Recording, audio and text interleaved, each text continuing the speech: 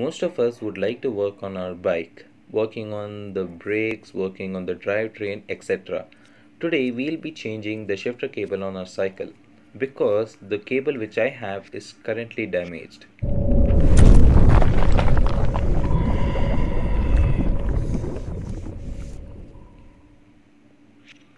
First thing is to just loosen the pinch bolt a little and remove the inner cable out.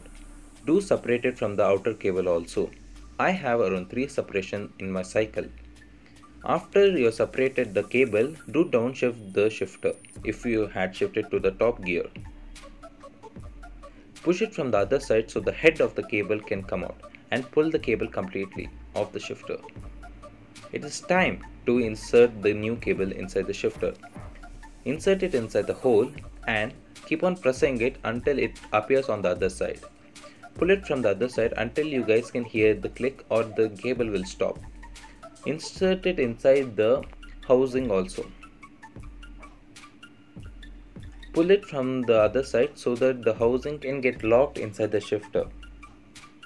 Now it is time to insert it near the frame also as you guys know I have around three separation. The first separation is over.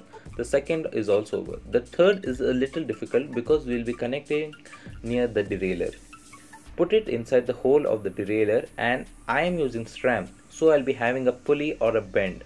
Make sure that the chain should be in the lowest gear or else you guys are going to do the wrong kind of a tightening now pull it from your left hand and tighten it from your right hand so that you can have an even kind of a tension. Do cut it using some pair of pliers. It is time to give a test. It's shifting really well. I guess I have a problem near the first or the second gear. I guess when I shift it to the second gear it is pushing too much towards the first gear. So just loosen the shifter adjuster a little. Now let's just give it a spin it is spinning free and clear.